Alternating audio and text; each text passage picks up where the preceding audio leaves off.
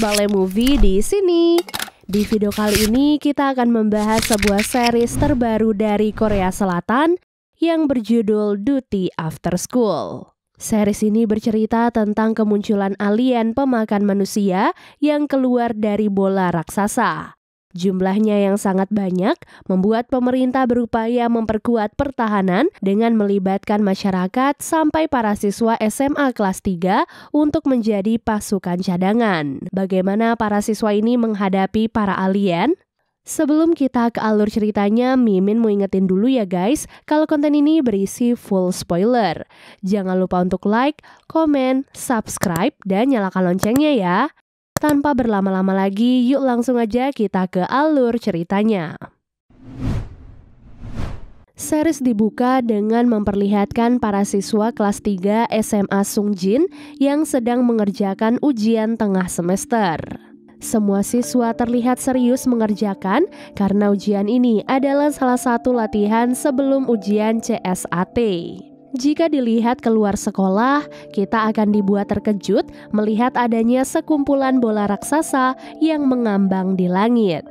Kira-kira bola apakah itu? Jadi satu tahun yang lalu, ribuan bola raksasa tiba-tiba muncul di langit secara misterius. Bukan hanya di Korea Selatan, bola-bola raksasa ini juga muncul di beberapa negara lainnya. Belum ada yang bisa memastikan dari mana bola raksasa itu berasal, namun beberapa orang meyakini bahwa bola itu adalah bola alien. Kembali ke masa sekarang, para militer terlihat berkumpul di sebuah tempat karena untuk pertama kalinya salah satu bola raksasa jatuh ke bumi. Seorang komandan militer bernama Choi Yong-sik kemudian mencoba menembak bola itu.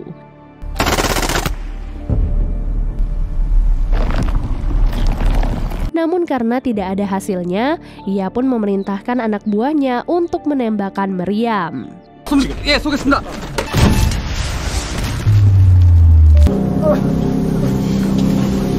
그러게 말입니다.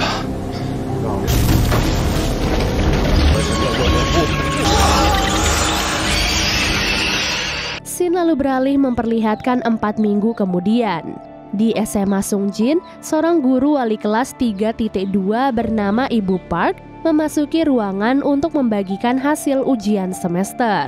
Setelah membagikan hasil ujian, terdengarlah pengumuman yang meminta seluruh guru untuk berkumpul di ruangan guru. Setelah selesai, Ibu Park kembali ke kelas dengan wajah serius dan mengatakan bahwa ujian CSAT akan ditiadakan tahun ini. Sesuai himbauan dari Menteri Pertahanan Negara, seluruh orang dewasa sampai anak-anak SMA kelas 3 akan menjalani pelatihan militer guna dapat melindungi diri dari ancaman bola raksasa. Para siswa yang kebingungan pun bertanya-tanya apa yang sebenarnya terjadi. Karena setahu mereka, bola-bola raksasa itu tidaklah berbahaya. Untuk saat ini, Ibu Park tidak bisa menjelaskan lebih lanjut. Yang pasti, pelatihan militer ini sangatlah diperlukan agar para siswa memiliki keahlian dasar untuk bertahan hidup. Demi meningkatkan minat mereka, pemerintah akan menerapkan sistem poin di mana para siswa yang mau mengikuti pelatihan akan mendapatkan poin tambahan yang bisa mereka gunakan untuk masuk ke perguruan tinggi. Masing-masing siswa kemudian diberikan surat persetujuan yang hanya bisa ditandatangani oleh orang tua mereka apakah mereka diizinkan untuk mengikuti pelatihan militer atau tidak. Setelah Ibu Park pergi, seorang siswa nakal bernama Ilha mendekati siswa peringkat satu bernama Yonghun. Memang sudah lama kedua siswa ini memiliki hubungan yang buruk, sehingga kesalahpahaman sedikit saja bisa berujung pada perkelahian.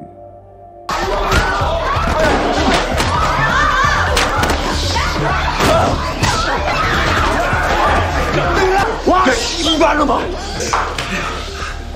setelah para siswa mendapatkan izin dari orang tua mereka, semua pun kembali ke sekolah dengan membawa perlengkapan mereka masing-masing. Di kelas, Ibu Park memperkenalkan seorang tentara bernama Letnan Lee yang selanjutnya akan menjadi komandan mereka. Letnan Lee menjelaskan bahwa mulai hari itu mereka akan menjalani pelatihan militer selama beberapa minggu dan tidak diizinkan keluar dari lingkungan sekolah. Yujung selaku ketua kelas langsung ditunjuk sebagai pemimpin dan Ciol akan bertugas sebagai seksi dokumentasi. Jika ada siswa yang berani melawan perintah komandan, maka ia akan mendapatkan pengurangan poin sekaligus hukuman. Setelah penjelasan itu, seorang tentara bernama Won Bin lalu mengarahkan para siswa ke asrama mereka masing-masing, tempat mereka menaruh barang bawaan mereka. Barulah kemudian mereka akan langsung dikumpulkan untuk menjalani pelatihan militer di lapangan sekolah. Di awal pelatihan, siswa SMA yang masih berjiwa muda tidak menganggap serius pelatihan itu dan malah menjadikan senjata sebagai mainan. Hal itu pun membuat Letnan Lee mulai tegas dan meminta semua siswa untuk serius. Karena senjata yang mereka pegang saat ini bisa menyelamatkan mereka atau justru membunuh mereka. Sejak hari itulah para siswa mulai menjalani pelatihan militer layaknya pasukan tentara. Kekuatan dan kemampuan mereka dilatih sangat keras hingga tak jarang para siswa mengeluh dan ingin pulang. Pada malam harinya, Yong Hun melapor pada Letnan Lee bahwa Ilha masih membawa ponselnya. Ponsel itu kemudian disita dan membuat Ilha semakin dendam pada Yong Hun. Mereka yang akan kembali berkelahi kemudian dihukum oleh Letnan Lee. Saat sedang menjalani hukuman, keduanya kembali tersulut emosi hingga akhirnya datanglah Ciol yang berusaha melerai mereka. Tak lama kemudian, tiba-tiba sebuah bola raksasa jatuh menimpa gedung sekolah dan jatuh di hadapan mereka bertiga. Bukannya melaporkan hal itu pada militer, Yonghun dan Ilha malah kembali melanjutkan perkelahian hingga Ilha mendorong Yonghun ke arah bola raksasa dan inilah yang terjadi.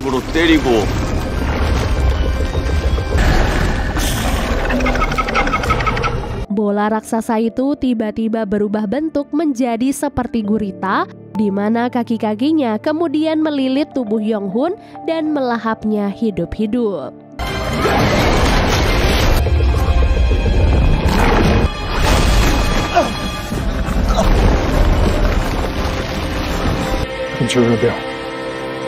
Setelah kejadian itu, Letnan Lee meminta Ibu Park serta Ilha dan Chiol untuk merahasiakan kematian Yong Hun sementara waktu. Ia tak ingin berita ini menggegerkan sekolah dan malah membuat situasi menjadi semakin kacau. Daripada meributkan hal itu, Ibu Park lebih fokus pada kesehatan mental dari kedua siswanya yang masih terlihat shock atas kejadian itu. Untuk menutupi kematian Yong Hun, Ilha dan Chiol diminta mengatakan kepada para siswa bahwa Yong Hun terluka dan terpaksa harus dipulangkan. Ternyata inilah ancaman sebenarnya yang berusaha ditutup-tutupi oleh pemerintah dan militer. Mereka tak ingin masyarakat panik, walaupun mereka tahu bahwa makhluk yang mereka hadapi sangatlah berbahaya. Bahkan dari kejadian penembakan bola raksasa beberapa waktu silam, hanya Letnan Lee yang berhasil selamat, sementara tentara lainnya habis dimakan oleh monster yang ada di dalam bola raksasa. Keesokan harinya, pemerintah mengumumkan bahwa bola raksasa yang jatuh kini semakin banyak. Oleh sebab itulah, komandan militer menghimbau agar mereka segera melakukan pelatihan senjata untuk mempersiapkan para siswa sebelum peperangan terjadi. Hari demi hari, pelatihan militer pun semakin keras. Bahkan para siswa kini diharuskan untuk menyelesaikan semua pelatihan terlebih dahulu, barulah mereka diizinkan makan. Dalam latihan melepas dan merakit senjata, salah satu anak bernama Esol selalu menjadi penghambat bagi para siswa yang lain. Bagaimana tidak, karena Esol selalu gagal, Letnan Lee terus memintanya untuk mengulang latihan sampai larut malam. Hal itu pun membuat para siswa yang lain marah karena mereka sudah kelaparan menunggu esol. Letnan Lee lalu menjelaskan bahwa pelatihan militer bukan tentang individu, melainkan tentang kerjasama tim. Jika salah satu dari mereka tertinggal atau gagal, maka mereka semua juga akan kacau.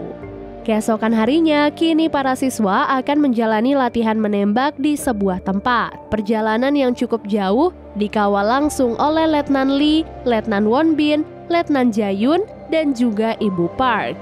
Selama perjalanan, para siswa dibuat terkejut melihat kondisi lingkungan di luar sekolah.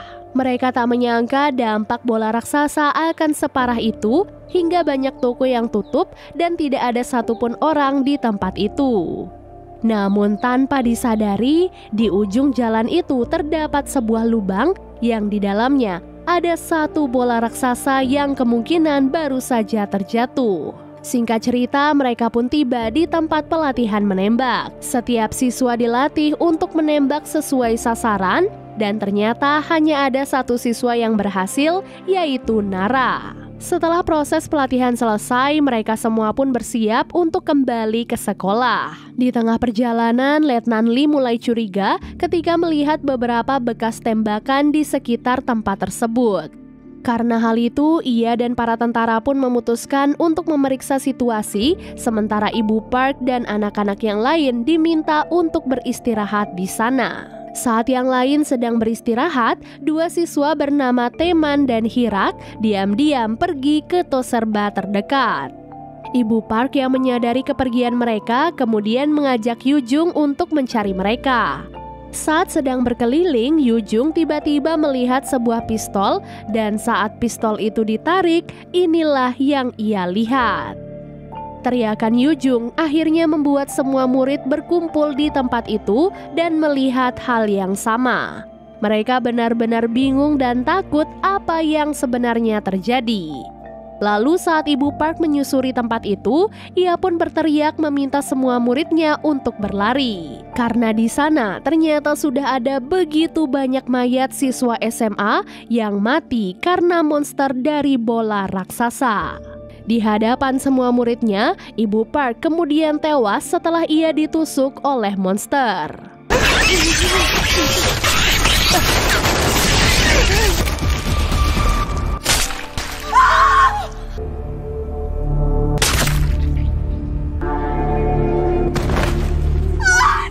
Monster-monster kecil yang sangat banyak kemudian mengejar para siswa yang akhirnya terpisah satu sama lain. Letnan Lee dan Letnan Won Bin yang mendengar suara tembakan langsung bergegas menyelamatkan para siswa yang berhasil mereka temukan. Sementara di tempat lain, ada tiga siswi yaitu Hana, Bora, dan Sun Yi yang kabur ke arah parkiran. Hana yang sempat tertangkap berhasil diselamatkan oleh Letnan Jayun, meskipun akhirnya Letnan Jayun tewas dibunuh oleh monster tersebut. Hana yang panik kemudian masuk ke dalam mobil dan mengunci mobil itu. Sementara Bora dan Sun Yi terpaksa masuk ke dalam bilik gawat darurat yang kemudian berbunyi. Akibat hal itu, para monster pun berkumpul ke arah sumber suara.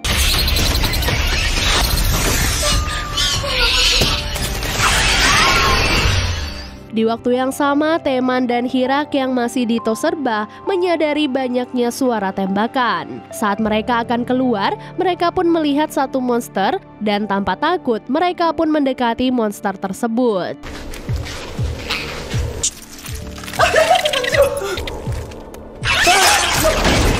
Setelah menyadari bahwa monster itu sangatlah berbahaya, Teman dan Hirak lalu bekerja sama dan memasukkan monster itu ke dalam freezer.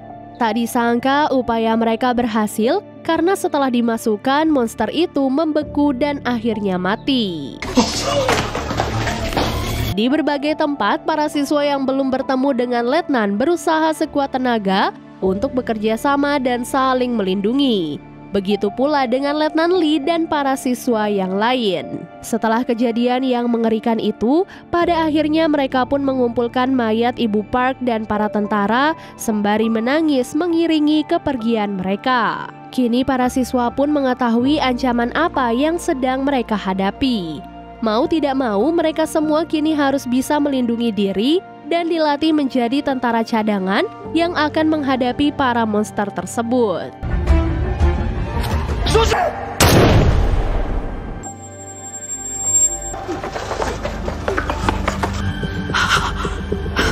Setelah sampai di sekolah, para siswa yang masih shock merasa sangat ketakutan dan tidak ingin melanjutkan semua ini.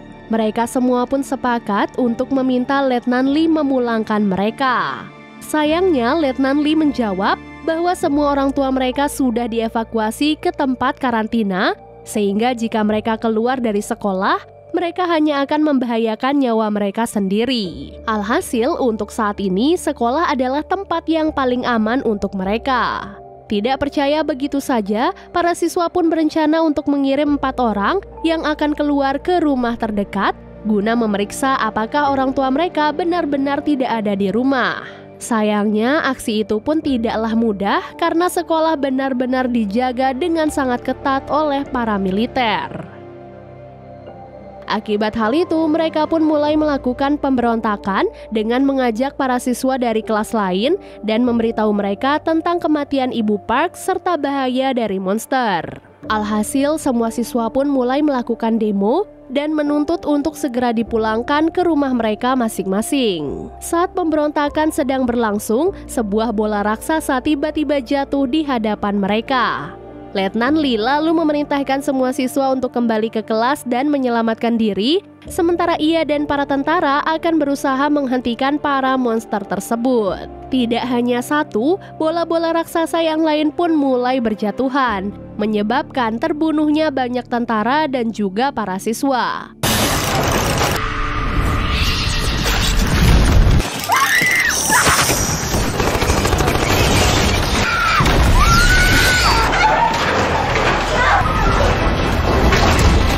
Karena situasi itu, Letnan Lee dan Letnan Won Bin mengerahkan para siswa yang masih selamat untuk mengambil persenjataan mereka karena mereka berencana untuk membawa para siswa ke pangkalan militer. Berkat kerjasama, mereka pun berhasil naik ke dalam mobil militer dan berusaha pergi. Meskipun kepergian mereka sebenarnya cukup berat karena mereka terpaksa harus meninggalkan seorang siswa yang tewas karena ia tidak bisa ikut naik ke dalam mobil.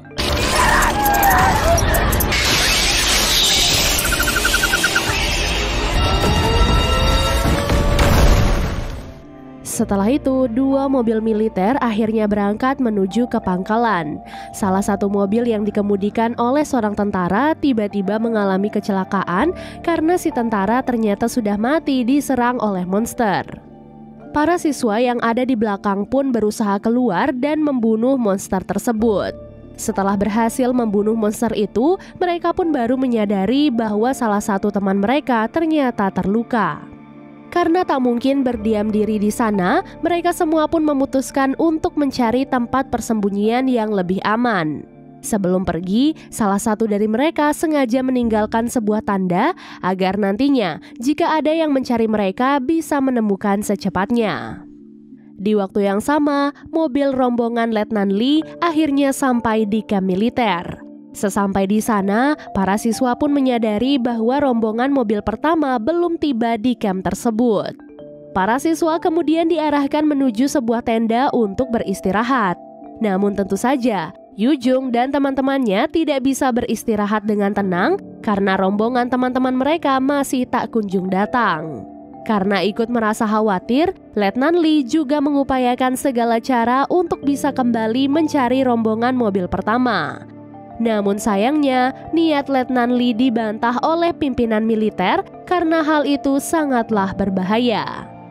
Melihat hal itu, Sersan Won Bin lalu diam-diam mencuri kunci sebuah mobil militer dan memberikan kunci itu kepada Letnan Lee. Rencana penjemputan itu kemudian tidak sengaja didengar oleh Dok Jung sehingga ia pun langsung menyampaikan hal itu pada teman-temannya.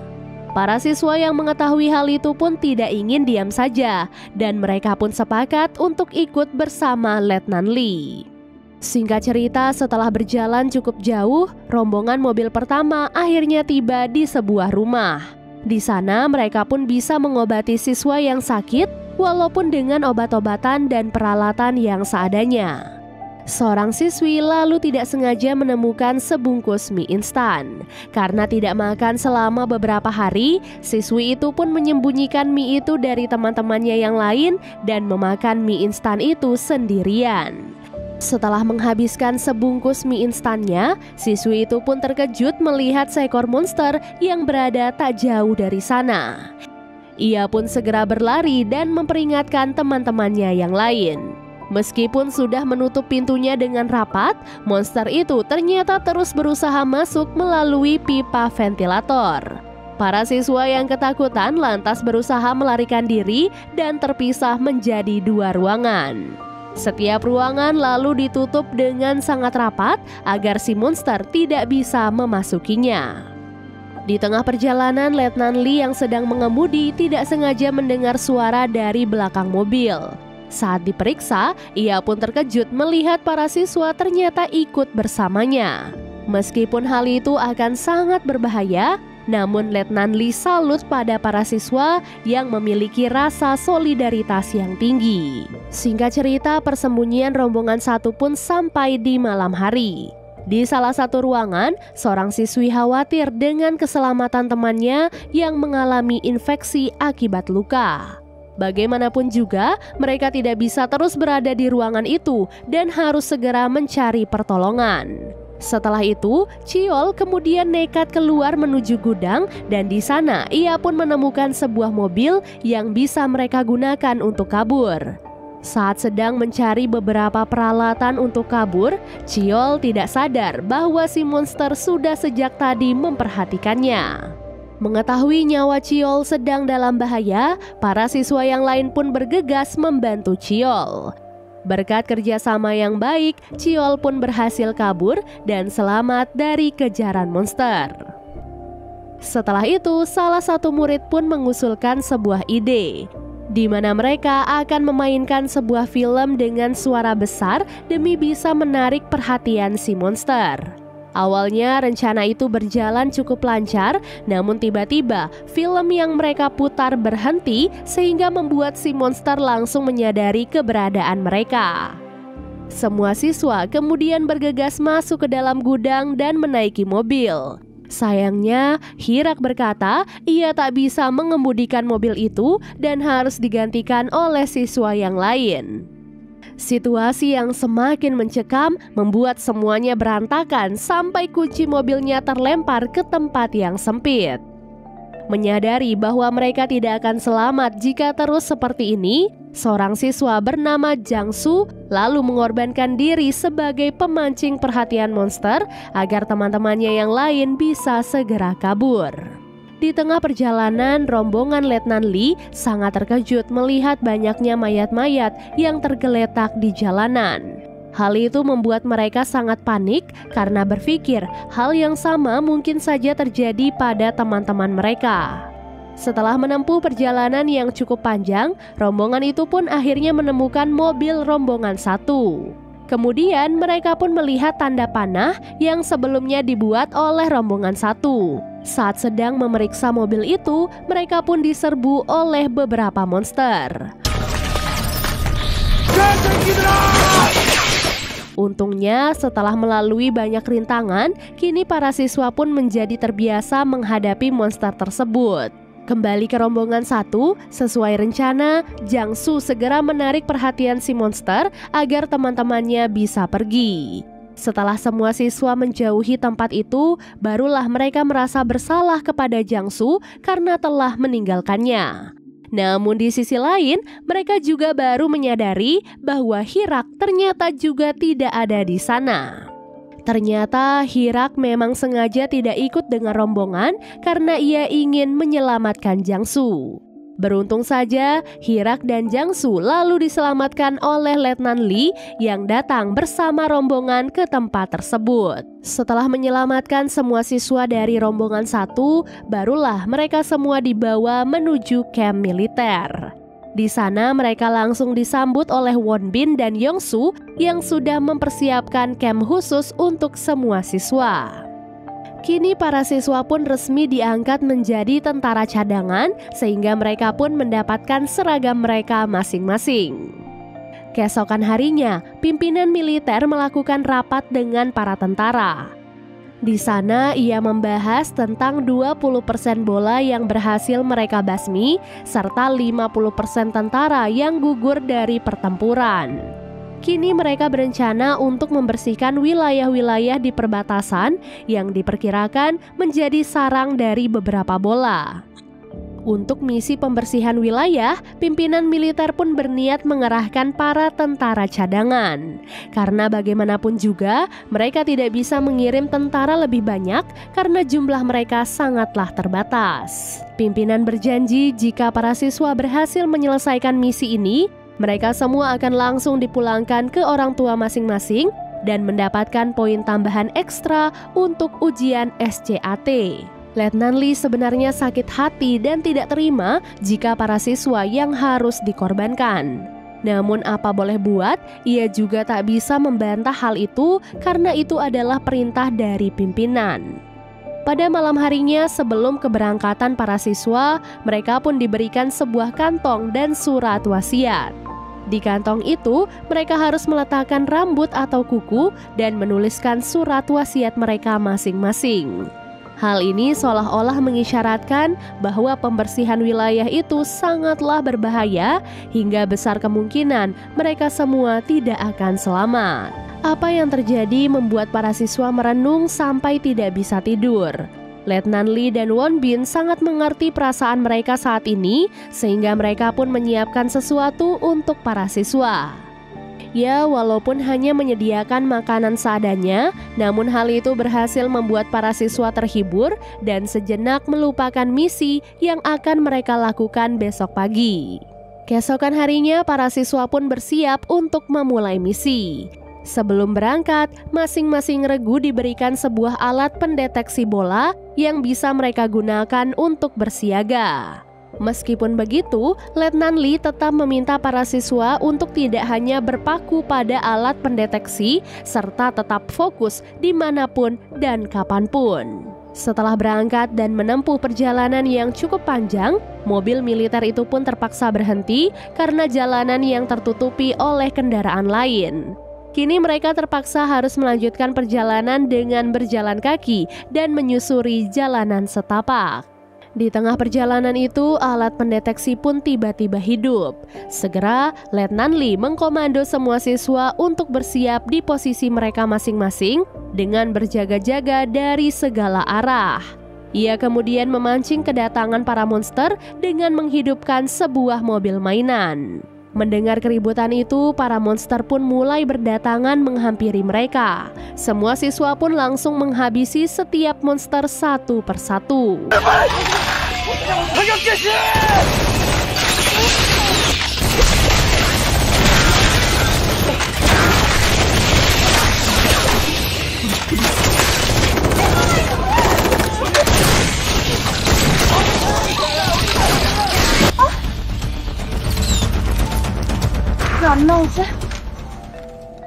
Letnan Lee kemudian membagi mereka menjadi beberapa kelompok kecil agar penyisiran yang mereka lakukan menjadi lebih efektif. Setiap kelompok lalu memeriksa semua rumah dan jalanan untuk memastikan bahwa setiap monster telah berhasil dibunuh. Saat itu, Won Bin dan beberapa siswa pun memasuki sebuah rumah. Namun bukannya menemukan monster, di sana mereka malah menemukan seorang siswa dari sekolah lain yang menggunakan baju tentara dalam keadaan ketakutan dan terluka. Bukan hanya kelompok Wonbin, kelompok yang lain juga menemukan dua siswa lainnya. Karena hal itu, Letnan Lee lalu mengajak semua siswa untuk beristirahat terlebih dahulu di sebuah camp terbengkalai yang ada di sebuah universitas. Setelah itu, Letnan Lee bertanya pada ketiga anak apa yang sebenarnya terjadi. Ketiga anak itu jelas mengalami trauma yang berat setelah mereka ditinggalkan oleh tentara yang seharusnya memimpin mereka. Salah satu anak bernama Yunso mengatakan bahwa orang dewasa sengaja memanfaatkan mereka dan malah pergi menyelamatkan diri sendiri. Akibat trauma berat yang dialami oleh Yunso, ia pun berniat untuk bunuh diri. Yujung yang melihat hal itu berusaha menenangkan Yunso. Namun saat Letnan Lee datang, Yunso malah menodongkan pistol ke arahnya. Dengan perasaan trauma yang sangat berat, Yunso pun akhirnya melepaskan tembakan dan malah mengenai bahu Won Bin. Beruntung Won Bin segera mendapatkan penanganan yang tepat sehingga nyawanya pun bisa diselamatkan. Won Bin tidak ingin mereka menyalahkan Yunso dari kejadian itu karena ia mengerti bahwa Yunso memang mengalami trauma yang berat setelah apa yang terjadi kepadanya. Setelah itu, Letnan Lee mengumpulkan semua siswa dan mengatakan bahwa mereka akan kembali ke kamp militer besok pagi. Dengan terlukanya Won Bin dan ditemukannya ketiga anak, Letnan Lee tidak bisa menjamin keselamatan mereka semua. Jadi alangkah lebih baik jika mereka kembali ke kamp militer walaupun Letnan Lee nantinya akan menerima konsekuensi. Saat Nara dan Ciol sedang berjaga di atap kampus, mereka tiba-tiba melihat sebuah bola raksasa yang seperti sedang bertukar sinyal dengan para monster yang ada di bawahnya. Setelahnya, informasi itu pun disampaikan kepada Letnan Lee dan para siswa yang lain. Mereka pun menyadari bahwa bola raksasa kemungkinan sedang mengirimkan sinyal terkait wilayah mana lagi yang harus mereka serang. Si bola raksasa melakukan hal itu agar para monster menyerang tempat-tempat yang dihuni oleh banyak manusia.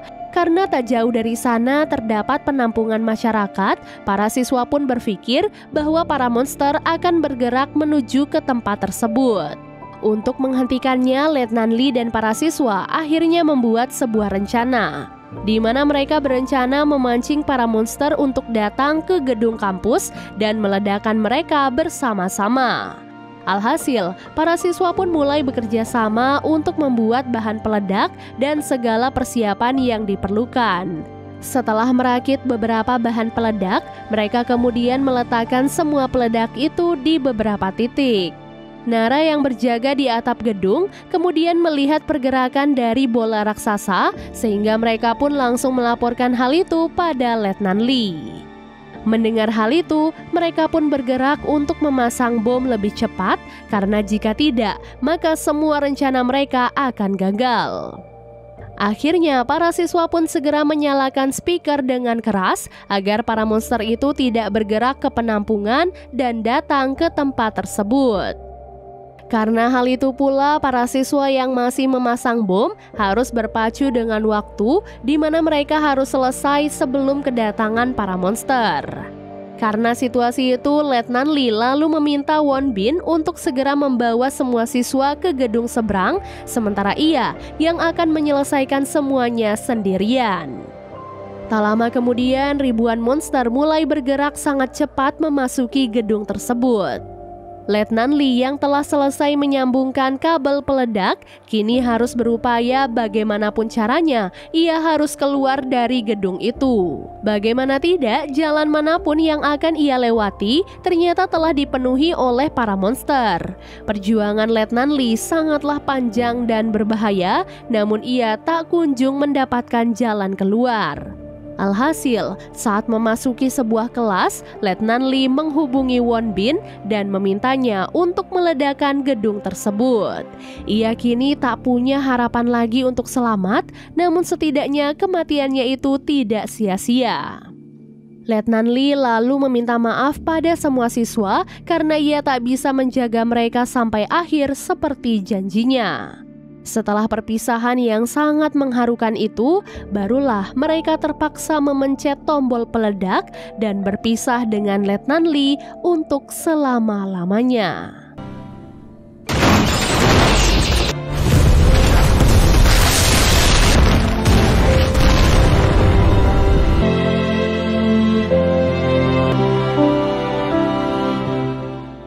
Series Duty After School akhirnya selesai. Dari series ini kita belajar banyak hal mulai dari kerja keras, perjuangan, sampai kerja sama tim. Di mana semua itulah yang membuat sesuatu yang awalnya dirasa tidak mungkin ternyata menjadi mungkin.